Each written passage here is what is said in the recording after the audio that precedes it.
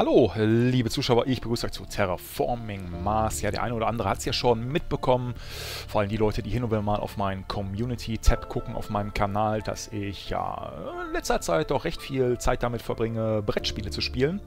Und Terraforming Mars ist halt so ein Brettspiel. Ich besitze es im Original als Brettspiel halt noch nicht, weil es im Moment mal wieder ausverkauft ist. Es ist nämlich ein absoluter Dauerbrenner. 2016 ist es erschienen und hat auf ähm, Boardgame Geek eine Bewertung von 8,4 und einen Schwierigkeitsgrad von 3,23. Die Freaks unter euch, die wissen jetzt genau, was ich meine.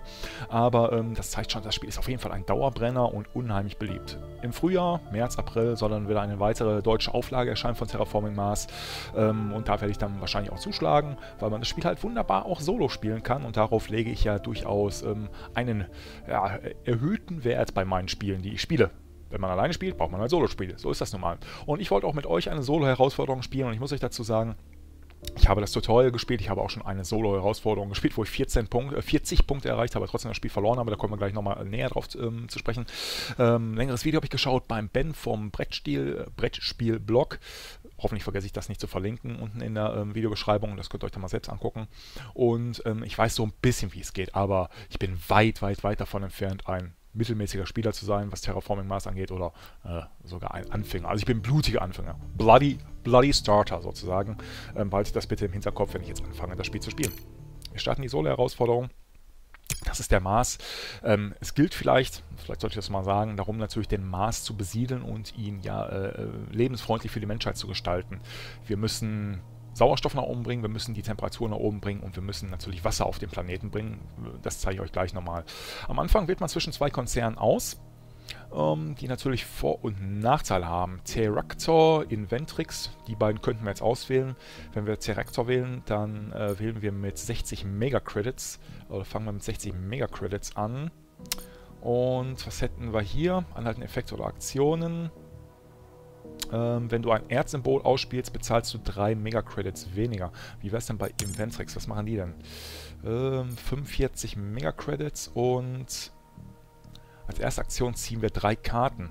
Das ist schon mal stark. Wir haben jetzt, nachdem wir diesen ähm, Konzern auswählen, haben wir die Möglichkeit, 10 Karten zu wählen. Diese Karten können wir aus, neben Standardaktionen, die man äh, spielen kann, kann man die ausspielen spielen. Und wenn wir hier mit drei Karten anfangen, dann ist das schon mal nicht schlecht. Aber was haben die noch als Effekt? Deine Temperatur, Sauerstoff und Ozeanbedingungen sind immer noch deiner Wahl um zwei Stufen höher oder niedriger. Das klingt jetzt irgendwie interessant. Ich glaube, Inventrix hat zwar nicht so viel Geld zum Anfang wie Terractor, Ter Terractor, Terractor, ja. Ähm, deswegen würde ich sagen, wir starten mit Inventrix. Inventrix oder Traktor, das sind halt die Konzerne, die wir jetzt auswählen können. Es gibt noch mehrere Konzerne im Spiel, aber zu Beginn wird man, glaube ich, immer zwei, oder hat man immer zwei zur Auswahl. Einen muss man wählen und zehn Startkarten, aus denen man wählen kann. Wenn ich den Ben vom Brettspielblock richtig verstanden habe, dann hat man die im richtigen Brettspiel die zehn Karten zuerst, kann sich die angucken und kann sich dann entscheiden, mit welchem Konzern man spielt. Hier beim Computerspiel ist es wohl andersrum. Egal, wir nehmen Inventrex, kriegen drei Karten auf die Hand, die müssten eigentlich jetzt schon unten sein. Oder vielleicht können wir auch drei umsonst auch sehen. Ich weiß es nicht. Und natürlich ist man Anfänger total überfordert, wenn man jetzt erstmal die Karten sieht. Zum Kartenaufbau selbst hier oben, das sind die Megacrits, die wir bezahlen müssen, wenn wir die Karte ausspielen. Ähm, dann hat jetzt hier dieser Extremkältepilz die... Ähm, das ist, es, muss, es muss mindestens 10 Grad oder kälter sein. Wenn wir irgendwann mal einen äh, höheren äh, Wärmegrad erreichen, dann ist diese ähm, Fähigkeitenkarte, glaube ich, nichts mehr wert, dann funktioniert die nicht mehr. Was würdest du denn trotzdem tun? Aktion, erhalte eine Pflanze oder füge anderen Karten zwei Mikroben hinzu. Wie gesagt, ich will jetzt auch gar nicht groß drauf eingehen, ähm, die Karten zu erklären, weil ich das eh nicht kann als Anfänger. Aber die, die das Spiel kennen, die werden jetzt wahrscheinlich lachen oder hahaha, können aber auch gerne in die Kommentare schreiben und sagen, was äh, ich alles falsch mache und was man verbessern könnte. So, die kostet 3 Megacredits und wir könnten hier die Megacredits-Produktion um 1 senken und halten dafür aber einmalig dann 10 Megacredits. Hm, das hört sich eigentlich gar nicht mal so schlecht an, würde ich mal behaupten. Wir spielen nämlich nur 14 Runden insgesamt. Und in jeder Runde bekommen wir Megacredits. 14 Runden bedeutet dann mindestens 14 Megacredits. Also ihr, ihr wisst, was ich meine. Wenn ich jetzt diese Karte nehme, dann wird die Produktion verändert. Wir verlieren 14 Megacredits insgesamt, kriegen aber direkt von Anfang an 10 Megacredits. Die Karte wähle ich schon mal aus. Äh, zu Beginn, die Karten auswählen kostet uns, das sehen wir unten, 3 Megacredits. Beim Ausspielen wird diese Karte, wie gesagt, dann nochmal 3 Megacredits kosten oder diese Karte wird dann 13 kosten. Eine Migrantenstadt. Was ist das denn für ein Effekt? Effekt immer, wenn ein Stadtplätzchen, Plätzchen, mh, Leckerplätzchen, Plätzchen plattiert wird, ähm, einschließlich diese erhöhe deine Megacredits-Produktion um 1. Senke deine Energieproduktion um 1 und deine Mega-Credits-Produktion um 2. Platziere ein Stadtplätzchen. Ah, okay. Erstmal, wenn man das zuerst macht, immer wenn ein Stadtplätzchen platziert wird, egal von uns oder anderen Spielern, aber wir spielen alleine, ähm, erhöhe unsere Mega-Credit-Position um 1. Das hört sich jetzt erstmal nicht so gut an. Bestochene Kommission. Das hier die sind übrigens die Siegpunkte. Ähm, am Ende des Spiels zählen natürlich auch noch die Siegpunkte dazu. Würden wir minus 2 bekommen für die bestochene Kommission. Aber unser Terraform-Wert wird sich um 2 erhöhen. Den haben wir hier, den Terraform-Wert, der ist aktuell bei 14. Und unser Terraform-Wert immer gleich das Einkommen des, der Mega-Credits, die wir bekommen. Also 14, ein Terraform-Wert von 14 würde uns in der nächsten Runde 14 Mega-Credits bringen. Ich will die Karte mal aus. Auch wenn wir da auf Siegpunkte verzichten müssen. Fluginsekten. Die müssen mindestens 6% Sauerstoff haben. Da sind wir noch weit von entfernt. Brauchen wir nicht. Dein Lieblingsprojekt kostet uns einen Mega-Credit, wenn wir es ausspielen. Füge einer Karte, auf der bereits eine Ressource ist, eine weitere Ressource hinzu. Whatever, wähle ich mal aus. Ähm, schwarzer Polarstaub. Platziere ein Ozeanplättchen, senke deine Mega-Credit-Produktion um 2 und erhöhe deine Werbeproduktion um 3. Okay, jetzt haben wir schon eine Karte gezogen, die unsere Mega-Produktion ähm, verringert. Aber das machen wir mal. Ich muss die Karte ja nicht ausspielen. Ich kaufe sie jetzt erstmal oder zahle dafür die 3 Mega-Credits, um sie überhaupt auf die Hand nehmen zu können. Überkuppelter Krater. Was macht der denn? Sauerstoffgehalt muss 7% oder weniger sein. Erhalte drei Pflanzen, platziere ein Stadtplätzchen. Plätzchen, wieder Plätzchen. Ich bleibe jetzt einfach bei Stadtplätzchen. Hört sich besser an. Hm, lecker. Senke deine Energieproduktion um 1 und höhe deine Mega-Credits-Produktion um 3. Das hört sich doch ganz gut an. Was haben wir noch? Die Stahlhütte. Okay. Okay, Aktion verbrauche 4 Energie, um 2 Stahl zu erhalten und den Sauerstoffgehalt um 1 zu erhöhen. Hier unten haben wir halt dieses Stahl, hier haben wir Titan, hier haben wir Pflanzen, hier haben wir Energie und hier haben wir Wärme. Das sind natürlich die ganzen Ressourcen, die nachher eingesetzt werden, um halt in Maß auf Vordermann zu bringen. Die wähle ich auch mal aus. Sind wir jetzt schon bei 18 Mega-Credits, die wir bezahlen müssen für die Karten. Das geschützte Tal. Erhöhe deine Mega-Credit-Produktion um 2. Platziere ein Grünflächenplätzchen. Plätzchen. Ich, ich auch wenn ich es nicht will, ich spreche es immer falsch aus. Egal. Auf einen Ozean für... Auf einem für Ozean reservierten Gebiet. Okay. Nehmen wir auch. Das sind auch schon alle Karten, die wir zur Auswahl haben. Die 10 Stück. Die kaufen wir, kriegen wir dann auf der Hand. Yep. Aufgrund deiner Konzernauswahl musst du eine Aktion durchführen. Ziehe drei Karten. Gerne. Sind das zufällige Karten, die ich ziehe? Anscheinend sind das tatsächlich zufällige Karten. Gut, jetzt äh, beginnen wir, sind im Spiel. Sehen hier Plättchen, die wir platzieren können. Hier, hier, hier. Da können wir überall Wasserplättchen, Ozeanplättchen äh, platzieren. Kriegen dafür dann zwei Pflanzen. Pflanzen wiederum kann man dann eintauschen gegen Grünflächenplättchen, die dann wiederum den Sauerstoffgehalt hier O2 erhöhen. Wie gesagt, 14 Runden geht das Spiel, hier in Generationen ausgedrückt. Hier ähm, O2, also Sauerstoff, müssen wir einen Wert von 14 erreichen. Das geht immer äh, das geht, glaube ich, immer in einer Schritten hier voran. Und die ähm, Temperatur geht, glaube ich, in zweier Schritten voran. Da müssen wir 8 Grad erreichen und 9 Ozeanplättchen müssen wir verlegen, damit halt dieser Planet, das, äh, damit äh, der Mars bewohnbar ist. Jetzt schauen wir mal, mit welchen Karten wir anfangen können. Ähm, wir können hier wieder unsere Mega-Credit erhöhen, unser Einkommen. Ähm, platziere ein Ozeanplättchen, senke deine äh, Mega-Credit-Produktion um 2. Erhöhe deine Wärmeproduktion. Das machen wir jetzt einfach mal. Schwarzer Polarstaub, ja, möchten wir spielen. Okay. Jetzt müssen wir eigentlich in der Lage sein, genau, einen Ozean zu platzieren. Machen wir den einfach mal hier hin. Kriegen dafür dann auch zwei Pflanzen. Sehr schön. Unser Wert hat sich jetzt erhöht. Hätte sich nicht, äh, hätte der nicht sinken müssen? Hm, egal. Können wir noch irgendwann eine Karte spielen? Ja, von den Kosten her könnten wir hier noch Investitionskredit spielen. Senkt dann wieder die Mega-Credit-Produktion, aber wir erhalten einmalig 10 Mega-Credits. Ähm, die schlochene Kommission will ich jetzt noch nicht spielen, das Lieblingsprojekt bringt jetzt auch nichts. Vielleicht spielen wir doch mal den Investitionskredit, damit wir die Kohle schön auf die Hand bekommen. Genau. Und da kommt die Kohle dazu. Sehr schön.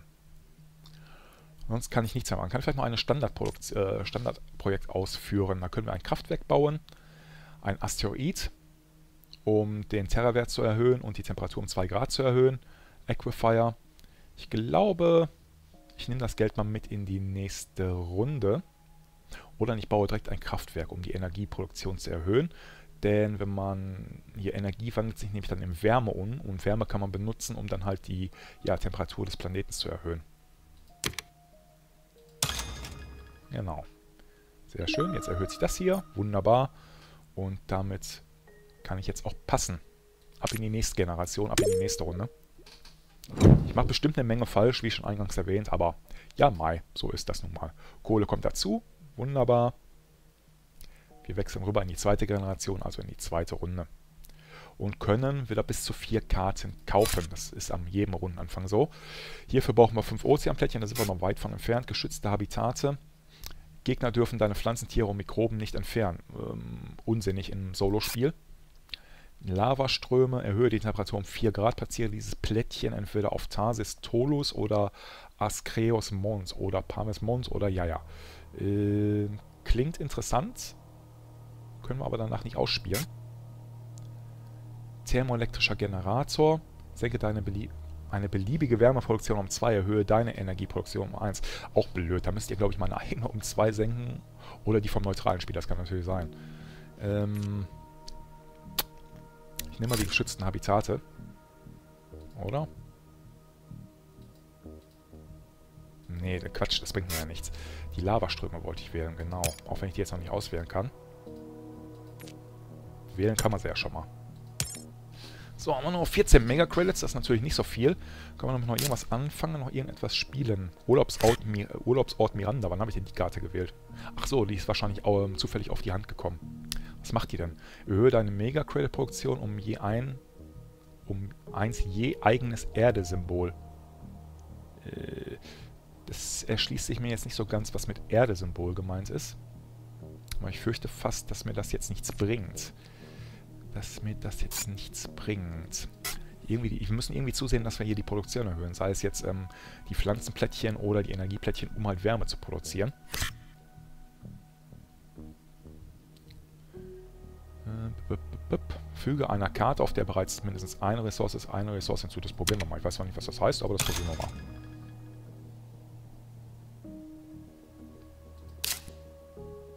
Hm, whatever, was haben wir hier an Effekten?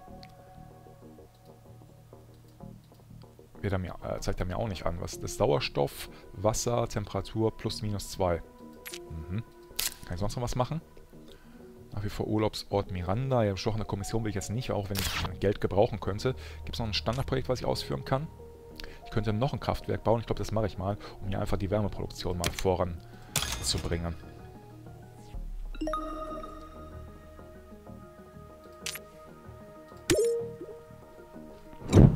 Also es ist schon, glaube ich, sehr schwierig, innerhalb von 14 Runden die vorgegebenen Ziele zu erreichen hier im Solo-Modus. Aber, naja, vielleicht sagt auch nur ich das als blutiger Anfänger. So, was haben wir hier? 36 Megacredits. Oh, Riesen-Eis-Asteroid. Erhöhe die Temperatur um 4. Platziere zwei Ozeanplättchen in Ferne bis zu 6 Pflanzen eines Spielers. Okay, das ist schon mal stark für die 4 Grad und für die zwei Ozeanplättchen. Aber 36 Megacredits. Huh. Mediengruppe. Nachdem du eine Ereigniskarte ausgespielt hast, erhältst du 3 Megacredits. Die wählen wir mal aus. Grundwasserpumpe, bezahle 8 Megacredits, um ein Ozeanplättchen zu platzieren. Stahl darf benutzt werden, als würdest du Gebäudekarten spielen. Genau, wenn man Gebäudekarten nämlich ausspielt, dann kann man die nämlich durch Stahl, wenn man Stahl hat, ähm, die Kosten reduzieren. Hochspannungsnetzwerk bringt uns was. Erhöhe deine Energieproduktion um 1, je eigenes Energiesymbol, einschließlich dieses. Hm, klingt auch interessant alles so toll, aber wieder keine Kohle dadurch. Irgendwie zu sehen, dass ich die Kohle ähm, hier irgendwie an Laufen bekomme. Ja, selbst meine bestochene Kommission kann ich jetzt nicht spielen, um die, ähm... Achso, dass der Terraform-Wert erhöht wird. Wir sind gar nicht hier Mega-Credits. Egal. Ja, kann ich jetzt nichts machen in der Runde, ne? Tatsächlich. Weiter. Also das läuft sicherlich nicht gut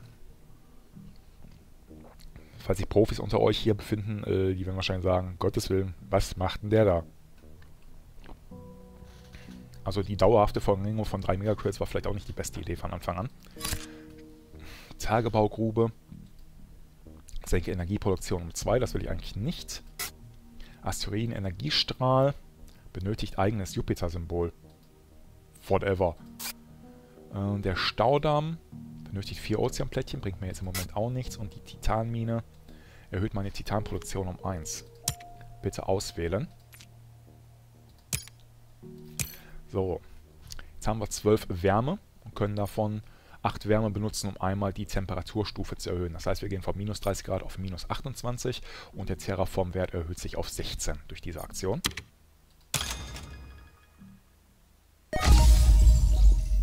Das ist doch wunderbar. Und wir haben noch 14 Megacrills. Können wir da noch was spielen? Bestochene Kommission. Da können wir natürlich den Terraform-Wert, wie gerade er äh, erzählt, schon erhöhen. Oder die Mediengruppe. Wenn wir dort einen Effekt ausspielen, wie war das nochmal? Eine eigenes Karte ausspielen, halten wir 3 Megacredits. Äh, mach mal.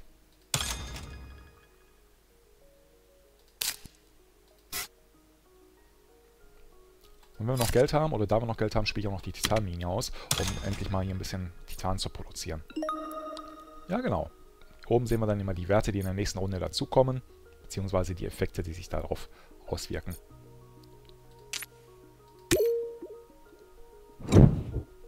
Bin gespannt, ob ich meine ähm, grandiosen 40 Punkte vom letzten Mal ähm, erreichen kann diesmal. Befürchte fast nicht. Wenn man ja schon keine Kohle hat, ist das echt übel. Echt, echt übel. Die Zollstation. Erhöhe deine Megacredits-Produktion um 1 je Weltraumsymbol, das deine Gegner haben. Hm, bringt mir sowas was im, im äh, Singleplayer, im Soloplayer? Ich glaube eher nicht. Statt Noctis. Senke deine Energieproduktion um 1 und erhöhe deine Megacredits-Produktion um 3. Platziere ein Stadtplättchen auf dem reservierten Gebiet. Ignoriere dabei die normalen Platzierungsregeln. Klingt interessant. Stadt Noctis kann man hier nur auf einem bestimmten Feld, glaube ich, aus, äh, aufbauen. Importiertes CO2 erhöhe deine Wärmeproduktion um 2. Hm, auch nicht schlecht. Nimm mit. Und Sperrgebiet. Oder stehen sie schon mit den Waffen? Was ist denn da los? Bezahle zwei Megacredits, um eine Karte zu ziehen. Platziere dieses Plättchen. Welches Plättchen? Dieses Plättchen hier? Achso, dann kann man das platzieren und dann kann, äh, können andere auf diesem Gebiet nicht bauen. Okay? Hm. Jetzt erstmal nicht. Ich habe echt zu wenig Geld, das ist nicht schön. Ich erhöhe mal den Terraform-Wert, damit wir mehr Kohle bekommen in der nächsten Runde, auch wenn uns das zwei Mi äh, Minuspunkte bringt.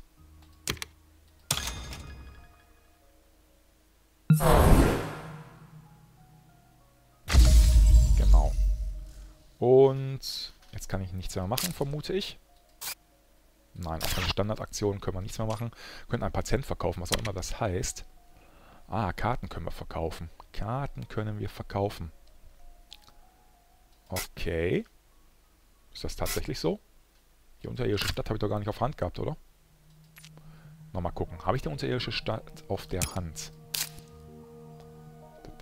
Doch, da ist sie. Also kann man Karten hier durch dieses Standardprojekt auch verkaufen. Okay. Aber die Karten habe ich mir alle äh, ausgewählt, weil ich da mir was bei gedacht habe. Ah, das Hochspannungsnetz. Das, sollen wir das einfach mal probieren? Was gibt uns das denn? Wie viel Geld? Was für eins? Das gibt uns ein Mega-Credit? Nein, nein, nein, nein, nein, nein, nein. Ich bin zu geizig. Dann, äh, besiedeln wir den Mars halt nicht, ist mir doch egal.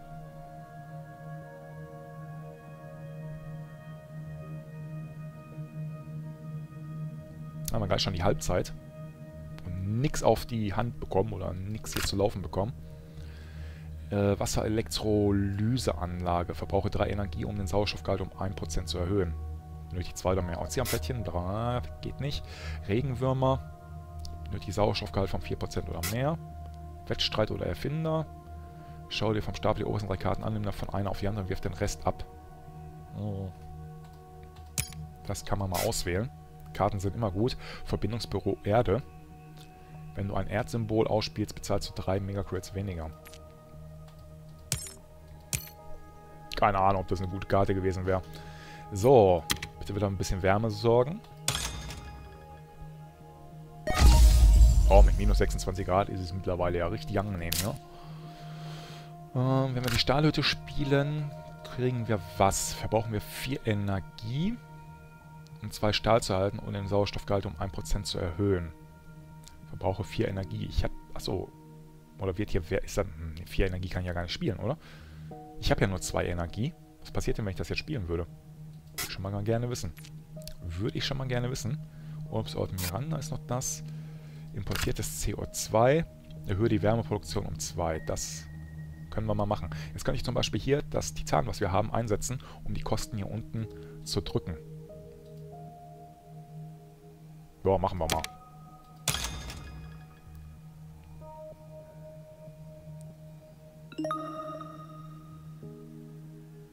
So, damit haben wir schon 5 in Wärmeproduktion pro Runde. Und wir schauen uns mal die ersten drei Karten an. Wenn ich die Karte richtig verstehe, dann war das eigentlich recht billig. Kriegen wir dann nämlich die Karte, die wir uns dann nämlich auswählen. Die kriegen wir dann praktisch umsonst. Auf die an die müssen wir dann nicht kaufen. Ja, müssen wir natürlich, wenn wir sie dann bauen, platzieren, wie auch immer, äh, müssen wir natürlich Geld ausgeben, das ist klar. Zonenrackerbau braucht eine Temperatur von 6 Grad oder wärmer, minus 6 Grad oder wärmer. Polare Eiskappen abschmelzen, benötigt eine Temperatur von plus 2 Grad, hm, bringt mir auch nichts. Oder Liechen, Liechen, das bringt mir alles nichts. Total toll. Total toll. Ja, bei der Karte sind wir, glaube ich, noch am nächsten dran, mit minus 6 Grad. Ah, dann nehmen wir die mal auf Hand. Ich habe noch 14 Mega-Credits. Um, können wir noch ein Standardprojekt ausführen. Eine Grünfläche können wir nicht platzieren. Wir könnten noch einen Asteroiden platzieren, um die Temperatur zu erhöhen, was dann wieder den Terra-Wert erhöht. Mach mal. Und jetzt sind wir fast pleite. Naja, wie wunderbar.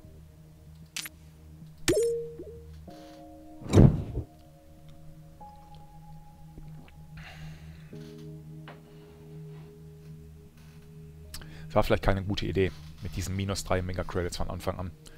Vielleicht war das keine gute Idee. So, die Solarenergie. Erhöht deine Energieproduktion um 1. Okay fortgeschrittenes Ökosystem, benötigt Pflanzen, Mikroben. Und das, das weiß ich auch noch nicht alles, wie das mit den ganzen Mikroben äh, funktioniert, wenn man da Mikroben auf Karten platziert und so. Muss ich mich auch nochmal schlau machen.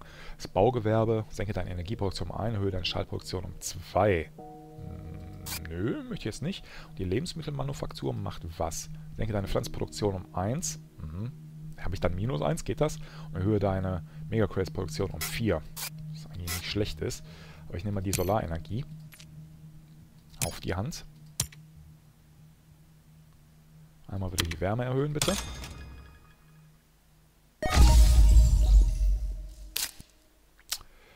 So. Das ist immer blöd, wenn man keine Kohle hat. Die Solarenergie, die bauen wir dann bitte auch gleich, um die Energieproduktion zu erhöhen. Und sind dann schon wieder fertig in der Runde. Wir haben mittlerweile Halbzeit, haben jetzt immerhin einen Siegpunkt durch, dazu bekommen, durch die Solarproduktion. Naja. Immerhin. Boah, bin ich schlecht. Aber das Spiel macht schon Spaß, das hat was. Im Original, wenn man das natürlich vor sich auf dem Tisch liegen hat, das ist nochmal ganz was anderes. Ich glaube auch mit mehreren Personen macht das auch richtig viel Bock. Ähm, schon nicht schlecht. Ich verstehe schon den Hype darum. Ich kann es nachvollziehen. Als Industriezentrum könnten wir uns auswählen. Bezahle 7 Megahertz, um eine Stahlproduktion zu erhöhen. Wir müssen diese Plättchen angrenzend an ein Stadtplättchen platzieren. Tiefbrunnenheizung, erhöhe deine Energieproduktion um 1, erhöhe die Temperatur um 2. Das hört sich gut an. Die nehmen wir. Kerosinfabrik. Äh, senke deine Energieproduktion um 1, erhöhe deine Titan- und Megacrates-Produktion um 1. Oh, das hört sich auch gut an. Methan vom Titan.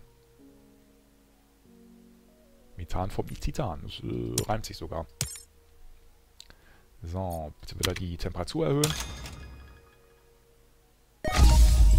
Jetzt haben wir diese Schwelle hier erreicht, bekommen dazu, wenn ich das jetzt richtig verstanden habe, nochmal eine Wärmeproduktion pro Runde dazu. Das Einzige, was bei mir funktioniert, ist die Temperatur. Na, immerhin äh, muss niemand erfrieren. Kann zwar auch niemand atmen, aber niemand muss erfrieren. Bald sind wir zumindest soweit. Äh, die Tiefbrunnenheizung wollte ich doch bauen. Genau, Energieproduktion erhöhen und die Temperatur erhöhen für 13 Megacredits. Was uns dann auch wieder den äh, Terra-Wert erhöht. Und das war's mal wieder. Kann nichts mehr machen. also ich glaube nicht, dass ich die 40 Punkte erreichen werde. Ich habe auch noch nichts platziert hier. Keine Grünplättchen, keine Städte, keine Ozeane. Doch, einen Ozean haben wir ja platziert. Stimmt. Ähm, ich bin der schlechteste Mars-Terraformer ähm, aller Zeiten. Oh, was soll's. Auch das Heidekraut. Hier, was soll man mit dem Heidekraut? Ähm, benötigt eine Temperatur von minus 14 Grad oder wärmer. Ja, übernommenes über, äh, Unternehmen, Megacredits-Produktion um 3 erhöhen. Damit könnten wir den Malus vom Anfang ausgleichen. Auswählen bitte. Forschungsvorposten macht was? Wenn du eine Karte ausspielst, bezahlst du ein Megacredits weniger. Platziere ein Stadtplättchen, aber nicht neben ein anderes Plättchen. Ja, nimmer. Will wissen, was das macht. Optimale Atmosphärenbremsung. Wenn du ein Weltraumereignis spielst, habe ich überhaupt ein Weltraumereignis auf Hand, erhältst du drei Megacreds und drei Wärme. Kaufen wir die beiden Karten. Stopp. Achso, oder hier. Temperatur erhöhen. So. Was machen wir mit Fusionsenergie? Benötigt zwei Energiesymbole, die ich anscheinend nicht habe. Mhm. Kerosinfabrik, übernommenes Unternehmen. Genau, damit können wir dann den Malus von minus 3 ausgleichen. Und das war es auch schon wieder. Jetzt haben wir immerhin 60 äh, oder 30 Mega-Credits nach der nächsten Runde. Wir kriegen ja 24 plus die 6 dazu. Kann ich noch was machen mit den 6 Mega-Credits? Vielleicht noch eine Karte spielen. Urlaubsort Miranda. Das, das mache ich jetzt einfach mal. Kann ich das überhaupt machen? Geht doch gar nicht, doch. Ach so, das geht nur, wenn ich die beiden Titanen ausspiele. Genau, dann geht das. Mach mal. Wenigstens bei 0, was die Siegpunkte angeht. Hey, 0 Siegpunkte. Sehr schön. Wie gesagt, Profis dürfen gerne in die Kommentare schreiben, wie schlecht ich bin. Obwohl, vier Runden habe ich ja noch. Wer weiß, kann viel passieren. Physikkomplex. Zwei Siegpunkte je Wissenschaft auf dieser Karte. Äh, okay. Keine Ahnung. Landnahme. Reserviere ein nicht reserviertes Gebiet. Du darfst, äh, nur du darfst hier Plättchen platzieren. Auch beim Solospieler egal, vermute ich mal. Gras benötigt eine Temperatur von 16 Grad oder weniger. Lagrange Observatorium. Ziehe eine Karte. Ein Siegpunkt und kostet nur 9 Credits. Das machen wir. Okay. So, nochmal gucken, die Stahlhütte. Was macht die nochmal? Verbraucht 4 Energie. Ja, um 2 Stahl zu erhalten und den Sauerstoffgehalt um 1 zu erhöhen. Das mache ich mal. Oh, dann müssen jetzt die 4 hier weggehen. Oder? Warum funktioniert das jetzt nicht?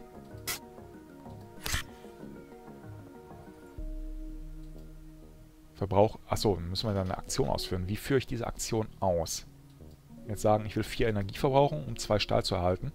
Oder ist das bei jeder Runde automatisch beim Rundenumbruch? Funktioniert das bei jedem beim Rundenumbruch automatisch? Aktionen. Ah, das ist es doch, genau. Das ist es. Zack, machen wir mal. Ja, sehr schön. Und die Temperatur hoch. Äh, der Sauerstoffgehalt hoch. Wunderbar. Hier können wir noch erhöhen. Die Wärmeressourcen. Kann ich das noch ein zweites Mal machen? Kann ich auch noch ein zweites Mal machen. Genau, habe ja genug Wärme. Sehr schön. Na, minus 12, das ist doch jetzt wirklich angenehm. Und das Observatorium wollt ihr spielen? Genau, ich will aber die Kosten nicht senken. Doch, muss ich senken. Gibt uns einen Siegpunkt. Und eine Karte haben wir gezogen. Wäre schön, wenn man die Karte direkt angezeigt bekommen würde.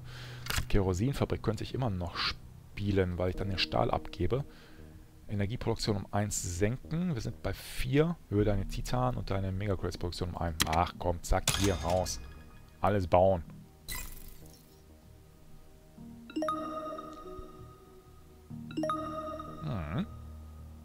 Genau, neben den 27 für den Terraform-Wert oder den Terra-Wert bekommen dann noch 3 dazu, jetzt jede Runde für Mega-Credits. Ich kann nichts mehr tun, ne? nichts mehr machen. Weiter geht's.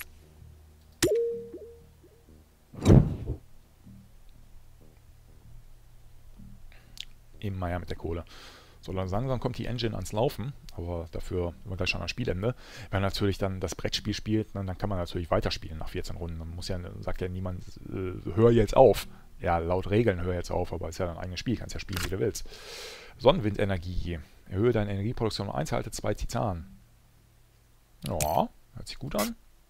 Asteroideneinschlag bringt uns was? Erhöhe die Temperatur um 2 und erhalte 2 Titan. Entferne bis zu 3 Pflanzen eines Spielers. Das hört sich auch ganz gut an. Ich glaube, die muss man dann wirklich vom neutralen Spieler nehmen. Ob das im Solospiel auf dem echten Brettspiel funktioniert, ich weiß es nicht. Nutzung von Blitzenergie. Benötigt drei Wissenschaftssymbole, weiß ich nicht, was das heißt, habe ich auch nicht. Und äh, denitrifizierende Bakterien. Füge dieser Karte eine Mikrobe, äh, ich weiß nicht, was mit Mikroben auf sich hat, äh, also lasse ich es. Ist wahrscheinlich total wichtig, äh, kriegt man sonst gar nicht hin, irgendwie. Kann man gar nicht gewinnen, das Spiel. Ich weiß es nicht, aber naja, ist nun mal so. Die Wärme wird erhöht. Super, wunderbar. So, man kann übrigens hier das ähm, Computerspiel auch gegen den Computer spielen, also gegen die KI. Ne? Das äh, funktioniert auch. Halt, Moment. Äh, statt Noctis kann ich die bauen, damit wir ein bisschen was äh, platzieren können hier wenigstens. Senke Energieproduktion um 1. Äh, okay, nicht so gut, aber erhöhe die Mega-Crates-Produktion. Machen wir. Zack. Ich glaube, die muss ich jetzt hier bauen, die Stadt Noctis. Genau. Bleibt uns äh, nur das Feld hier, aber dafür kriegen wir zwei Pflanzen. Ja, und bitte eine Kuppel drüber, genau. Ja, damit ihr wenigstens auch mal gesehen habt, dass ich mal was gebaut habe hier. Außer dieser kleine Ozean. So, Energie dazu, das ist schön. Und jetzt haben wir noch 8 Mega-Credits. Kann ich mit denen noch irgendwas machen? Ähm, hier würde ich dann wieder drei Pflanzen verlieren, die ich mir gerade so hart so erarbeitet habe. Hier können wir die Energieproduktion und erhalten zwei Titan. Müssen dafür nur ein Titan abgeben, um das nutzen zu können, vom Preis her. Also man kann eine, Ressource, eine entsprechende Ressource aufwenden, ähm, um den Preis zu senken. Oder man kann eine Ressource aufwenden, das gibt dann 3 Mega-Crates, wenn ich das richtig verstehe. Wenn ich jetzt nichts aufwenden würde, dann müsst ihr den vollen Preis von 11 bezahlen, mit einem Mega, mit einem Titan dann nur noch 8.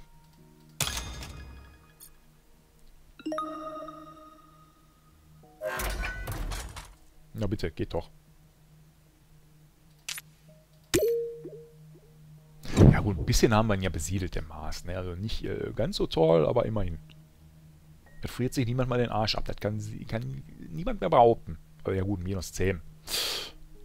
Können wir halt nur Russen auf den Mars bringen. Ja, ist ja auch rot, passt ja. Ne? Die sind das ja auch dann gewohnt von der Temperatur her.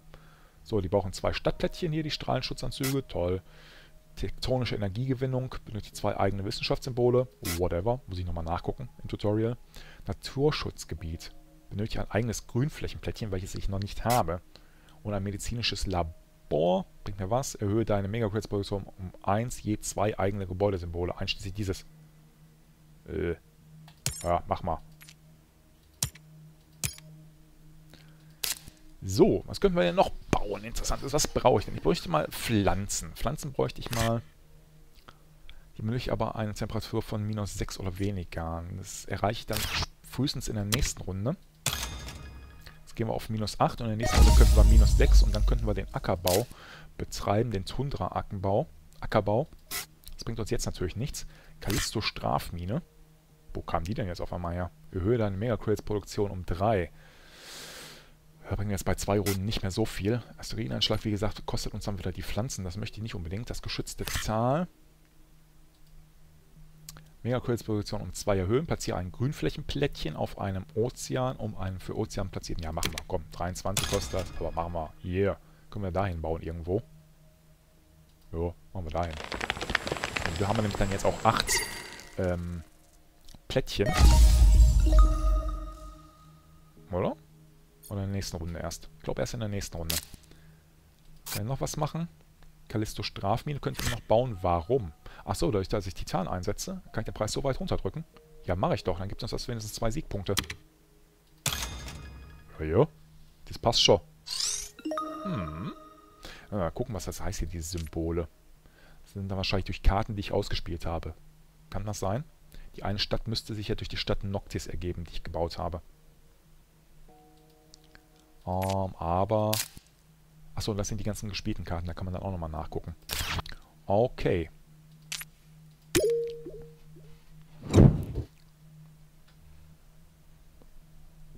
jetzt kommen wir auch langsam an Kohle. Bisschen spät vielleicht, aber ja, mai. So soll es sein. Ich frage mich gerade, ob die Stadt Noctis bei uns als Stadt zählt. Denn wenn man daran dann nämlich Grünflächen anbaut, dann zählen die, glaube ich, als Siegpunkte. Wenn ich das richtig verstehe. So, der tropische Urlaubsort. Ja, natürlich. Senke die Wärmeproduktion um 2, erhöhen deine Megaproduktion um 3, brauche ich nicht. Das ist jetzt die vorletzte Runde. Der Ackerbau plus 4 Grad schaffe ich nicht mehr. Nitrophyten benötige ich auch Ozeanplättchen, bringt mir auch nichts. Oder die arktischen Algen. Äh, bringt mir nichts. Keine Karte bringt mir was. Dann nehmen wir auch keine. Ich erhöhe jetzt erstmal die Temperatur auf minus 6 Grad. Dann können wir jetzt den Tundra-Ackerbau ausspielen. Hier unten haben wir es. Gibt uns dann zwei Siegpunkte und auch zwei ähm, Pflanzenplättchen. Benötige eine Temperatur von minus 6. Haben wir. Minus 6 steht da.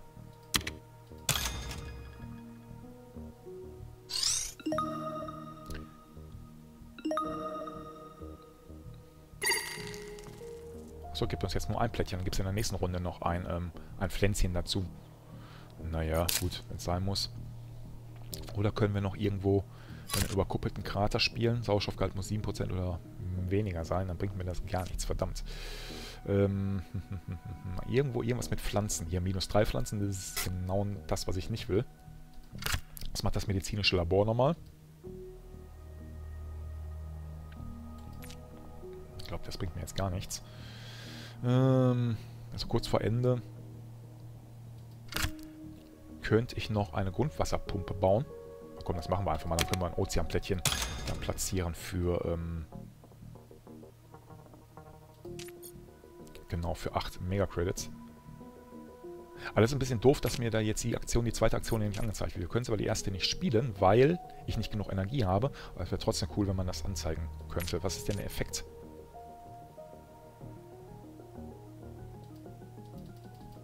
Wenn ich hier drauf klicke? Ach Moment mal. Das ist dann dauerhafter Effekt. Genau. Nachdem du eine Ereigniskarte ausgespielt hast, erhältst du drei Mega-Credits. Mhm, mhm. Ja, so langsam komme ich dahinter. Hust, hust. So, ich möchte gerne ein Ozeanplättchen bauen. Für 8 Mega-Credits. Äh, ist hier unten Titan brauche ich nicht. Komm hier, genau, dann kriegen wir Pflanzen. Dann kriegen wir Pflanzen. Dann können wir jetzt auch Pflanzenplättchen bauen. Genau, schwupp. Acht Pflanzen können wir in eine Grünfläche umbauen. Wir müssen, glaube ich. Oh, und wir können hier anfangen. Hier kann ich anfangen, weil ich die Stadt Noctis und hier ein Ozeanplättchen und dort ein Ozeanplättchen äh, gebaut habe. Ist das so? Ich glaube ja. Bauen wir die Grünfläche dahin. Das dürfte uns dann im Endeffekt einen Siegpunkt geben. Total toll. So, wenn ich das richtig äh, gesehen habe, kommt jetzt die letzte Runde. Also Generation 14, letzte Runde. Schub, ja, immer drauf mit der Kohle. Schub, schub. Letzte Runde.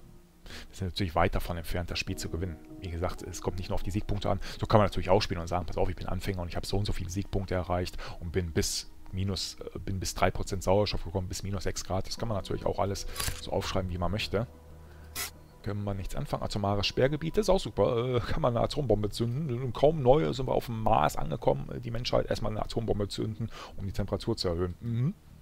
Ja, aber kann man machen. Gibt es aber einen tollen Effekt, wenn man das im Spiel macht. Habe ich das letzte Mal gemacht. Aber kostet dann zwei Siegpunkte. Möchte ich jetzt nicht tun. Importierter Wasserstoff. Hm, das sieht interessant aus. Erhalte drei Pflanzen oder füge einer Karte drei Mikroben oder zwei Tiere hinzu. Platziere ein Ozeanplättchen. Machen wir. Nehmen wir. Offene Stadt braucht einen Sauerstoffgehalt von 12 Grad oder mehr. Äh, 12% oder mehr. Ja, ist natürlich jetzt, ähm, sind wir noch weit von entfernt, hier Städte ohne Kuppeln zu bauen. So. Den Wasserstoff bitte einmal spielen.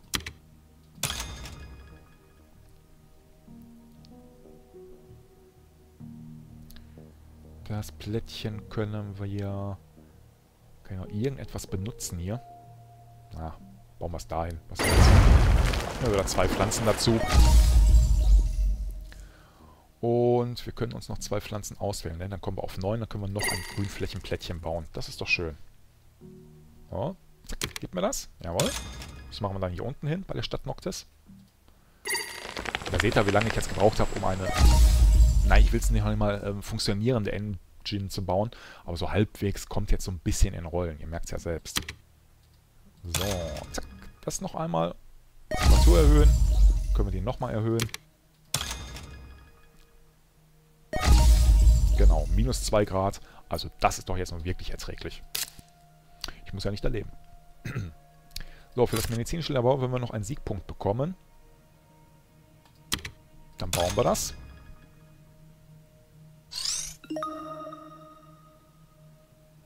Glaube, ich vernachlässige auch viel, vernachlässige auch viel zu viel die Standardprojekte, die man benutzen kann. Jede Runde. Man kann sogar Städte bauen hier. Platziere ein Stadtplättchen und erhöhe deine Mega-Credits-Produktion um 1. Am Ende des Spiels erhältst du für jedes angrenzende Grünflächenplättchen einen Siegpunkt. unabhängig von dessen Besitzer. Genau, deswegen habe ich jetzt auch gerade Sachen um die Stadt Noctis gebaut. Wenn die mir gehört und das nicht irgendwie eine neutrale Stadt ist. Aber irgendwas kann ich doch bestimmt noch bauen, oder? Was uns vielleicht noch einen Siegpunkt gibt. Nein, das sind die einzigen Karten, die ich jetzt noch auf der Hand habe. Fusionsenergie, ja, das bringt jetzt, glaube ich, nicht so viel. Maskulineinschlag. Ja, können wir machen. Da wird die Temperatur noch zweimal erhöht, was uns den Terraformwert erhöht. Das dürfte dann auch noch zusätzlichen Siegpunkt geben, glaube ich. Und drei Pflanzen eines Spielers entfernen. Muss ja nicht von uns sein, ne? Dann machen wir das doch beim neutralen Spieler. Geht das beim neutralen Spieler? Mal gucken. Durch die Erhöhung der Temperatur ist ein neuer Ozean entstanden. Wähle aus, wo du ihn platzieren möchtest. Genau, weil wir jetzt die, die Schwelle von 0 Grad überschritten haben. Ähm, ja. Mach mal. Achso, komm, kriegen wir hier oben zwei Karten. Vielleicht kriegen wir noch eine schöne Karte auf der Hand. Vom neutralen Spieler können wir jetzt die Plättchen wegnehmen, also die Pflanzen. Das ist gut. Was soll ich denn noch bekommen?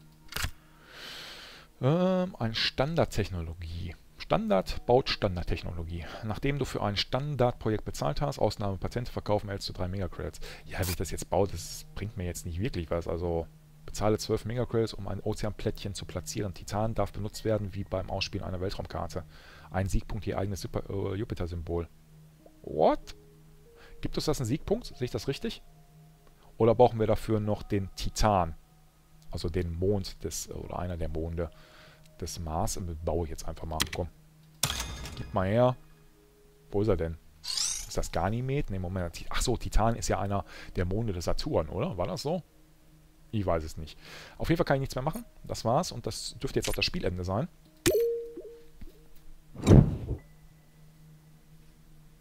Ja, kriegen wir nochmal Sachen dazu, klar. Am Ende kann man nochmal die übrig gebliebenen Pflanzen in, ähm, umwandeln in Grünplättchen. Kann ich aber nicht in Grünflächen umwandeln, weil ich nicht genug Pflanzen habe. Ja, fertig, genau.